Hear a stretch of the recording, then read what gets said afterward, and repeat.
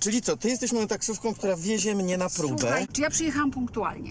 E, tak, tak, przyjechałaś punktualnie. No to jest w bardzo się dosyć cieszę. zaskakujące, że Dlaczego? Kasia, no, że Kasia zorganizowała punktualnie transport. Proszę cię, nie pytaj go o to.